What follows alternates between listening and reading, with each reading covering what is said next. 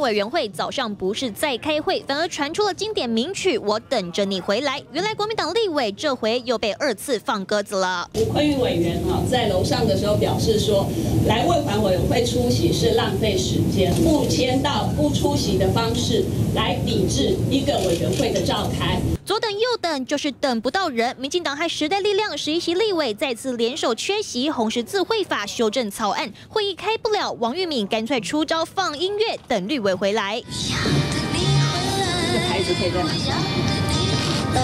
民进党立委不来开会，蓝营出怪招给听音乐。民进党这边也有妙招，那我们要来。多讨论。内政委员会上针对反歧视法一边讲，只见台下立委庄瑞雄钻来钻去，忙着发科学面。仔细看，每个委员桌上都一包，就要提醒黄昭顺审查法案要科学一点。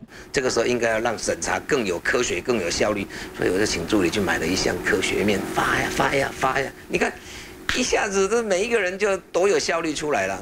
超越直询的酸道具，pH 值小到不行，有够呛。没想到国民党这边还加码。如果假设发生老鼠咬小孩，到底我们要打给哪个单位啊？我要坦白讲哈，嗯，我也不知道。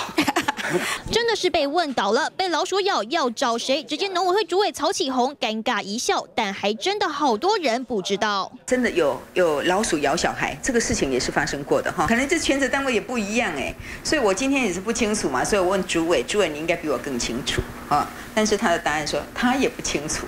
平常立委们认真质询，好严肃，没想到天外飞来一笔，也是欢笑一箩筐。记者黄家伟、李义璇台北报道。